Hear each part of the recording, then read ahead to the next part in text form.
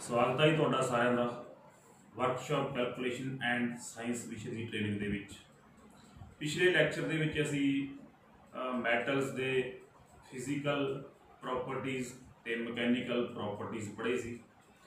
ਅੱਜ ਅਸੀਂ ਗੱਲ ਕਰਦੇ ਹਾਂ ਕਿ ਮੈਟਲਸ ਦਾ ਵੀ ਗਾਂ ਵਰਗੀਕਰਨ ਕੀਤਾ ਜਾਂਦਾ ਹੈ। ਕਲਾਸੀਫਿਕੇਸ਼ਨ ਆਫ ਮੈਟਲਸ ਧਾਤਾਂ ਦਾ ਵਰਗੀਕਰਨ। ਧਾਤਾਂ ਦੇ ਵੀ ਗਾਂ ਜਾ ਕੇ ਗਰੁੱਪ ਨੇ ਅਲੱਗ-ਅਲੱਗ ਨੇ। ਸੋ ਆਓ ਆਪਾਂ ਗੱਲ ਕਰਦੇ ਹਾਂ ਕਲਾਸੀਫਿਕੇਸ਼ਨ ਆਫ ਮੈਟਲਸ ਧਾਤਾਂ ਦੀ ਅੰਦਰੂਨੀ ਬਣਤਰ ਦੇ ਆਧਾਰ ਤੇ ਉਹਨਾਂ ਨੂੰ ਦੋ ਹਿੱਸਿਆਂ ਦੇ ਵਿੱਚ, ਦੋ ਭਾਗਾਂ ਦੇ ਵਿੱਚ ਵੰਡਿਆ ਗਿਆ, ਦੋ ਵਰਗ ਦੇ ਵਿੱਚ ਰੱਖਿਆ ਗਿਆ ਆਪਾਂ ਕਹਿ ਸਕਦੇ ਹਾਂ। ਨੰਬਰ 1 ਤੇ ਹੈਗੇ ਨੇ ferrous metal number 2 non ferrous metal ferrous metal ਨੂੰ ਪੰਜਾਬੀ ਦੇ ਵਿੱਚ ਕਿਹਾ ਜਾਂਦਾ ਹੈ ਜੀ ਲੋਹ ਧਾਤੂ। ਤੇ ਨਾਨ ਫੈਰਸ ਮੈਟਲ ਨੂੰ ਕਿਹਾ ਜਾਂਦਾ ਹੈ ਅਲੋਹ ਧਾਤੂ। ਸਭ ਤੋਂ ਪਹਿਲਾਂ ਆਪਾਂ ਗੱਲ ਕਰਦੇ ਹਾਂ ਫੈਰਸ ਮੈਟਲ ਦੀ, ਜਾਣੀ ਕਿ ਲੋਹ ਧਾਤੂਆਂ ਦੀ। ਜਿਵੇਂ ਕਿ ਨਾਮ ਤੋਂ ਹੀ ਸਪਸ਼ਟ ਹੁੰਦਾ ਹੈ ਲੋਹ ਧਾਤੂ, ਅਜਿਹੇ ਧਾਤੂ ਜਿਨ੍ਹਾਂ ਦੇ ਵਿੱਚ ਲੋਹੇ ਦੇ ਕਣ ਬਹੁਤਾਤ ਦੇ ਵਿੱਚ ਮੌਜੂਦ ਹੁੰਦੇ ਨੇ, ਉਹਨਾਂ ਨੂੰ ਲੋਹ ਧਾਤੂ ਕਿਹਾ ਜਾਂਦਾ ਹੈ। ਤੇ ਇੰਗਲਿਸ਼ ਦੇ ਵਿੱਚ ਆਪਾਂ ਇਹਨਾਂ ਨੂੰ ਫੈਰਸ ਮੈਟਲਸ ਕਹਿੰਦੇ ਨੇ। ਜਦੋਂ ਕੁਦਰਤੀ ਤੌਰ ਤੇ ਖਾਣਾ ਦੇ ਵਿੱਚੋਂ ਜਿਹੜੇ ਸਾਨੂੰ ਫੈਰਸ ਮੈਟਲ ਪ੍ਰਾਪਤ ਹੁੰਦੇ ਆ, ਉਹਨਾਂ ਦੇ ਵਿੱਚ ਬੜੇ ਕਿਸਮ ਦੀਆਂ ਜਿਹੜੀਆਂ ਅਸ਼ੁੱਧੀਆਂ ਨੇ, ਉਹ ਮਿਲੀਆਂ ਹੁੰਦੀਆਂ ਨੇ, ਜਿਹੜੇ ਜਿਹਨੂੰ ਕੱਚੀ ਧਾਤ ਦੇ ਵਿੱਚ ਜਿਹੜੀਆਂ ਅਲੱਗ ਤੋਂ ਹੋਰ ਲੋਹੇ ਤੋਂ ਇਲਾਵਾ ਜਿਹੜੇ ਹੋਰ ਪਦਾਰਥ ਪਾਏ ਜਾਂਦੇ ਆ, ਉਹਨਾਂ ਨੂੰ ਆਪਾਂ ਅਸ਼ੁੱਧੀਆਂ ਬੋਲਦੇ ਆ। ਇਹ ਅਸ਼ੁੱਧੀਆਂ ਕੀ ਕੀ ਨੇ? ਜਿਹੜੀ ਖਾਣ ਦੇ ਵਿੱਚੋਂ ਸਾਨੂੰ ਕੱਚੀ ਧਾਤ ਪ੍ਰਾਪਤ ਹੁੰਦੀ ਹੈ, ਉਹਦੇ ਵਿੱਚ carbon, sulphur, oxygen, manganese, phosphorus, ਇਹ ਜਿਹੜੀਆਂ ਸਾਰੀਆਂ ਮਿਲੀਆਂ ਹੁੰਦੀਆਂ ਨੇ। ਇੱਕ ਇੱਥੇ ਹੋਰ ਗੱਲ ਕਰਨੀ ਬਣਦੀ ਹੈ ਕਿ ਆਇਰਨ ਔਰ ਲੋਹੇ ਦੀ ਕੱਚੀ ਧਾਤ ਜਿਹੜੀ ਸਾਨੂੰ ਖਾਣਾ ਦੇ ਵਿੱਚੋਂ ਮਿਲਦੀ ਹੈ, ਉਹਨੂੰ ਹੈਮੇਟਾਈਟ ਕਿਹਾ ਜਾਂਦਾ ਹੈ।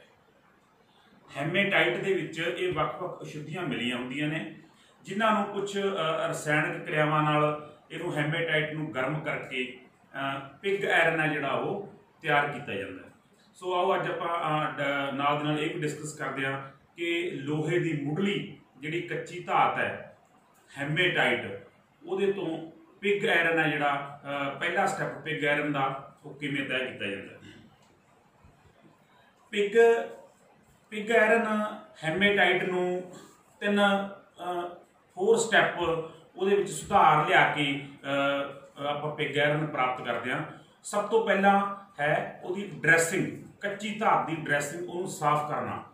ਜਦੋਂ ਕੁਦਰਤੀ ਤੌਰ ਤੇ ਖਾਣਾ ਦੇ ਵਿੱਚੋਂ ਕੱਚੀ ਧਾਤ ਪ੍ਰਾਪਤ ਕਰ ਲਈ ਜਾਂਦੀ ਹੈ, ਤਾਂ ਉਹਨੂੰ ਮਸ਼ੀਨਾਂ ਨਾਲ ਜਾਂ ਹਿਊਮਨ ਐਫਰਟਸ ਦੇ ਨਾਲ ਸਭ ਤੋਂ ਪਹਿਲਾਂ ਉਹਨੂੰ ਸਾਫ਼ ਕੀਤਾ ਜਾਂਦਾ ਹੈ। ਜੋ ਮੋਟੀਆਂ-ਮੋਟੀਆਂ ਸ਼ੁੱਧੀਆਂ ਮਨੁੱਖੀ ਅੱਖ ਰਾਹੀਂ ਉਹਦੇ ਨਜ਼ਰ ਆਉਂਦੀਆਂ ਨੇ ਜਾਂ ਮਸ਼ੀਨੀ ਕਿਰਿਆਵਾਂ ਨਾਲ ਉਹਨੂੰ ਛਾਣਿਆ ਜਾਂਦਾ ਛੰਡਿਆ ਜਾਂਦਾ ਹੈ। ਮੋٹے ਤੌਰ ਤੇ ਜਿਹੜੀਆਂ ਅਸ਼ੁੱਧੀਆਂ ਪਹਿਲੇ ਸਟੈਪ ਤੇ ਸਾਹਮਣੇ ਆਉਂਦੀਆਂ ਨੇ, ਉਹਨੂੰ ਡਰੈਸਿੰਗ ਨਾਲ ਸਾਫ਼ ਸਫ਼ਾਈ ਨਾਲ ਕਰਕੇ ਬਾਹਰ ਕੀਤਾ ਜਾਂਦਾ ਨੰਬਰ 2 ਤੇ ਅਗਲਾ ਸਟੈਪ ਆਉਂਦਾ ਜੀ ਕੈਲਸੀਨੇਸ਼ਨ ਕੈਲਸੀਨੇਸ਼ਨ ਦੇ ਵਿੱਚ ਜਿਹੜੀਆਂ ਉਸ ਕੱਚੀ ਧਾਤ ਦੇ ਵਿੱਚ ਕਾਰਬਨ ਡਾਈਆਕਸਾਈਡ ਆਰਸੈਨਿਕ ਤੇ ਗੰਧਕ ਜਿਹੀਆਂ ਅਸ਼ੁੱਧੀਆਂ ਮਿਲੀਆਂ ਹੁੰਦੀਆਂ ਨੇ, ਤਾਂ ਉਹਦੇ ਵਿੱਚ ਕੈਲਸ਼ੀਅਮ ਪਾਊਡਰ ਪਾ ਦਿੱਤਾ ਜਾਂਦਾ ਹੈ। ਤੇ ਉਹਨੂੰ 400 ਤੋਂ 500 ਡਿਗਰੀ ਤੱਕ ਗਰਮ ਕਰਕੇ ਜਿਹੜੀ ਇਹ ਕੈਲਸੀਨੇਸ਼ਨ ਦਾ ਜਿਹੜਾ ਪ੍ਰੋਸੈਸ ਹੈ, ਇਹ ਕੀਤਾ ਜਾਂਦਾ ਤਾਂ ਜੋ ਕਾਰਬਨ ਡਾਈਆਕਸਾਈਡ, ਆਰਸਨ ਤੇ ਗੰਧਕ ਉਹਦੇ ਵਿੱਚੋਂ ਬਾਹਰ ਕਰ ਦਿੱਤਾ ਜਾਂਦਾ ਹੈ। ਨੰਬਰ 3 ਤੇ ਹੈ ਸਮੈਲਟਿੰਗ। ਸਭ ਤੋਂ ਪਹਿਲਾਂ ਇੱਥੇ ਦੱਸਦੇ ਹਾਂ ਵੀ ਸਮੈਲਟਿੰਗ ਹੁੰਦੀ ਕੀ ਹੈ। ਕਿਸੇ ਵੀ ਕੱਚੀ ਧਾਤ ਨੂੰ ਸਾਫ਼ ਕਰਨ ਤੋਂ ਬਾਅਦ ਉਹਦਾ ਉਹਦੇ ਕੈਲਸੀਨੇਸ਼ਨ ਕਰਨ ਤੋਂ ਬਾਅਦ ਕਿਸੇ ਬੰਦ ਭੱਠੀ ਦੇ ਵਿੱਚ ਜਦੋਂ 1400 ਤੋਂ ਲੈ ਕੇ 1500 ਡਿਗਰੀ ਤੱਕ ਉਹਨੂੰ ਗਰਮ ਕੀਤਾ ਜਾਂਦਾ ਹੈ। ਇਸ ਪ੍ਰੋਸੈਸ ਨੂੰ ਸਮੈਲਟਿੰਗ ਕਿਹਾ ਜਾਂਦਾ ਹੈ। ਸੋ ਸਫ਼ਾਈ ਕਰਨ ਤੋਂ ਬਾਅਦ, ਕੱਚੀ ਧਾਤ ਦੀ ਕੈਲਸੀਨੇਸ਼ਨ ਕਰਨ ਤੋਂ ਬਾਅਦ ਤੀਜੇ ਸਟੈਪ ਤੇ ਉਹਨੂੰ ਇੱਕ ਬੰਦ ਭੱਠੀ ਦੇ ਵਿੱਚ ਜਿਸ ਨੂੰ ਬਲਾਸਟ ਫਰਨਸ ਕਿਹਾ ਜਾਂਦਾ ਹੈ, ਉਹਦੇ ਵਿੱਚ ਪਾ ਕੇ ਉਹਨੂੰ 1400 ਡਿਗਰੀ ਸੈਲਸੀਅਸ ਤੋਂ ਲੈ ਕੇ 1500 ਡਿਗਰੀ ਸੈਲਸੀਅਸ ਤੱਕ ਦੀ ਜਿਹੜੀ ਹੀਟ ਹੈ ਉਹ ਅਪਲਾਈ ਕੀਤੀ ਜਾਂਦੀ ਹੈ। ਇਸ ਪੁਆਇੰਟ ਤੇ ਆ ਕੇ ਜਿਹੜੀ ਲੋਹੇ ਦੀ ਕੱਚੀ ਧਾਤ ਹੈ ਉਹ ਬਿਲਕੁਲ ਪਿਘਲ ਜਾਂਦੀ ਹੈ ਤੇ ਇੱਕ ਤਰਲ ਪਦਾਰਥ ਦੇ ਰੂਪ ਵਿੱਚ ਕਨਵਰਟ ਹੋ ਜਾਂਦੀ ਹੈ। ਤਾਂ ਉਹ ਜਿਹੜੀ ਬਲਾਸਟ ਫਰਨੈਸ ਹੈ, ਉਹਦੇ ਇੱਕ ਡਰੇਨ ਵਾਲਵ ਲੱਗਿਆ ਹੁੰਦਾ ਹੈ। ਉਹ ਡਰੇਨ ਵਾਲਵ ਦੀ ਸਹਾਇਤਾ ਦੇ ਨਾਲ ਜਿੰਨੀਆਂ ਵੀ ਉਹਦੇ ਵਿੱਚ ਅਸ਼ੁੱਧੀਆਂ ਜਾਂ ਕੋਈ ਹੋਰ ਪਦਾਰਥ ਨੇ ਜਿਹੜੇ, ਉਹ ਪਿਘਲ ਕੇ ਉਹਦੇ ਉੱਪਰ ਆ ਜਾਂਦੇ ਨੇ ਤੇ ਉਸ ਡਰੇਨ ਵਾਲਵ ਦੇ ਨਾਲ ਉਹ ਜਿਹੜੀਆਂ ਬਾਕੀ ਬਚੀਆਂ ਅਸ਼ੁੱਧੀਆਂ ਨੇ, ਉਹ ਸਾਰੀਆਂ ਬਾਹਰ ਕੱਢ ਦਿੱਤੀਆਂ ਜਾਂਦੀਆਂ ਨੇ ਤੇ ਅਖੀਰ ਤੇ ਜਿਹੜੀ ਉਹਦੇ ਵਿੱਚ ਮੈਟਲ ਜਾਂ ਧਾਤ ਬਚਦੀ ਹੈ ਉਸ ਨੂੰ ਪਿਗ ਆਇਰਨ ਕਿਹਾ ਜਾਂਦਾ। ਇਹ ਪਿਗ ਆਇਰਨ ਵੀ ਬਹੁਤ ਹੀ ਵਧੀਆ ਕਿਸਮ ਦਾ ਲੋਹਾ ਨਹੀਂ ਹੁੰਦਾ।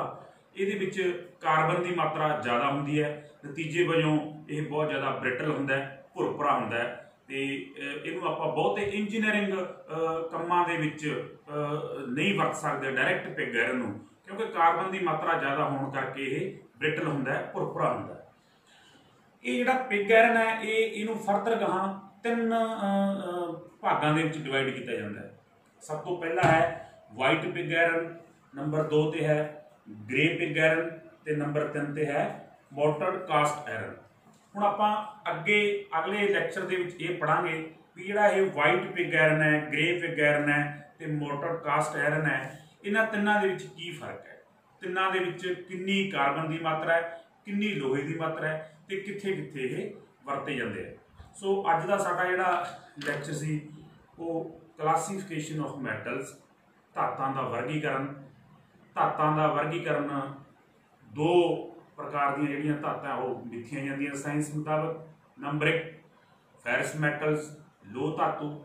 ਨੰਬਰ 2 ਨਾਨ ਫੈਰਸ ਮੈਟਲਸ ਲੋਹ ਧਾਤੂ। ਲੋਹ ਧਾਤੂ ਉਹ ਹੁੰਦੇ ਆ, ਜਿਨ੍ਹਾਂ ਦੇ ਵਿੱਚ ਲੋਹੇ ਦੇ ਕਣਾਂ ਜਿਹੜੇ ਉਹ ਮੈਕਸਿਮਮ ਪਾਏ ਜਾਂਦੇ ਆ ਤੇ ਚੁੰਬਕ ਉਹਨਾਂ ਨੂੰ ਆਪਣੇ ਵੱਲ ਖਿੱਚਦਾ ਹੈ। ਲੋਹ ਧਾਤੂ ਉਹ ਹੁੰਦੇ ਨੇ ਜਿਨ੍ਹਾਂ ਦੇ ਵਿੱਚ ਲੋਹੇ ਦੇ ਤੱਤ ਬਹੁਤ ਘੱਟ ਹੁੰਦੇ ਨੇ। ਲੋਹ ਧਾਤੂ ਜਦੋਂ ਕੁਦਰਤੀ ਤੌਰ ਤੇ ਖਾਣਾ ਦੇ ਵਿੱਚੋਂ ਸਾਨੂੰ ਪ੍ਰਾਪਤ ਹੁੰਦੇ ਆ, ਤਾਂ ਉਹਨਾਂ ਦੇ ਵਿੱਚ ਬਹੁਤ ਸਾਰੀਆਂ ਅਸ਼ੁੱਧੀਆਂ ਹੁੰਦੀਆਂ। ਜਿਹਨੂੰ ਪਹਿਲੇ ਸਟੈਪ ਤੇ ਕਿਹਾ ਜਾਂਦਾ ਹੈ ਹੈਮੇਟਾਈਟ ਇਸ ਕੱਚੀ ਧਾਤ ਨੂੰ ਹੈਮੇਟਾਈਟ ਕਿਹਾ ਜਾਂਦਾ ਹੈ। ਅੱਗੇ ਹੈਮੇਟਾਈਟ ਨੂੰ ਤਿੰਨ ਪ੍ਰੋਸੈਸਾਂ ਵਿੱਚੋਂ ਲੰਘਾ ਕੇ ਪਿਗ ਐਰਨ ਪ੍ਰਾਪਤ ਕੀਤਾ ਜਾਂਦਾ ਹੈ। ਉਹ ਤਿੰਨ ਪ੍ਰੋਸੈਸ ਜਿਹੜੇ ਕਿਹੜੇ ਆ ਉਹਦੀ ਡਰੈਸਿੰਗ ਕਰਨਾ, ਸਾਫ਼ ਸਫ਼ਾਈ ਕਰਨਾ, ਉਹਦਾ ਕੈਲਸੀਨੇਸ਼ਨ ਕਰਨਾ ਤੇ ਨੰਬਰ 3 ਤੇ ਸਮੈਲਟਿੰਗ। 1400 ਡਿਗਰੀ ਸੈਂਟੀਗ੍ਰੇਡ ਤੋਂ ਲੈ ਕੇ 1500 ਡਿਗਰੀ ਸੈਂਟੀਗ੍ਰੇਡ ਤੱਕ ਉਹਨੂੰ ਗਰਮ ਕਰਨਾ। ਇਸ ਇਹ ਜਿਹੜੀ ਸਮੈਲਟਿੰਗ ਹੈ, ਸਮੈਲਟਿੰਗ ਤੋਂ ਬਾਅਦ ਜਿਹੜੀ ਸਾਨੂੰ ਪਿਗ ਆਇਰਨ ਪ੍ਰਾਪਤ ਹੁੰਦਾ ਹੈ, ਉਹ ਵੀ ਕੋਈ ਬਹੁਤ ਹੀ ਵਧੀਆ ਕਿਸਮ ਦਾ ਲੋਹਾ ਨਹੀਂ ਹੁੰਦਾ। ਉਹਦੇ ਵਿੱਚ ਕਾਰਬਨ ਦੀ ਮਾਤਰਾ ਜ਼ਿਆਦਾ ਹੁੰਦੀ ਹੈ ਤੇ ਉਹ ਭੁਰਭੁਰਾ ਹੁੰਦਾ ਹੈ। ਨਤੀਜੇ ਵਜੋਂ ਉਹ ਜ਼ਿਆਦਾਤਰ ਇੰਜੀਨੀਅਰਿੰਗ ਕੰਮਾਂ ਦੇ ਵਿੱਚ ਨਹੀਂ ਵਰਤਿਆ ਜਾਂਦਾ।